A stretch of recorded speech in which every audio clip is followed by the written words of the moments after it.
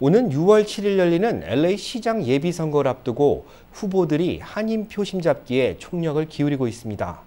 캐런 베스 후보는 오늘 LA 한인회를 방문해 한인 유권자들의 지지를 호소했습니다. 김경희 기자가 다녀왔습니다.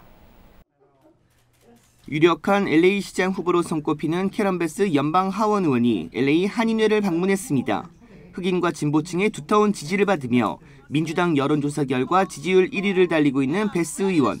자신이 시장에 당선되면 아시안 증오범죄, 노숙자 문제 해결에 앞장서고 지역 주민 안전을 위한 치안 강화에 집중하겠다고 밝혔습니다.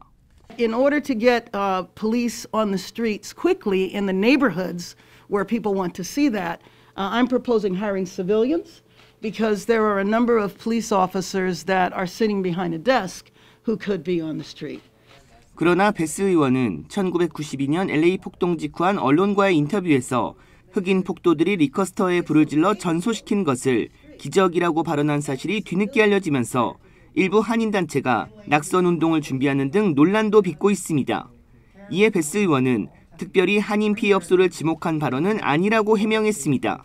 Uh, in the South Central area, liquor stores, not all of them, not all liquor stores, some liquor stores, had been a problem for many, many, many years, way before Koreans owned the stores. The stores actually go back to being problematic in the 60s when we had the Watts riots.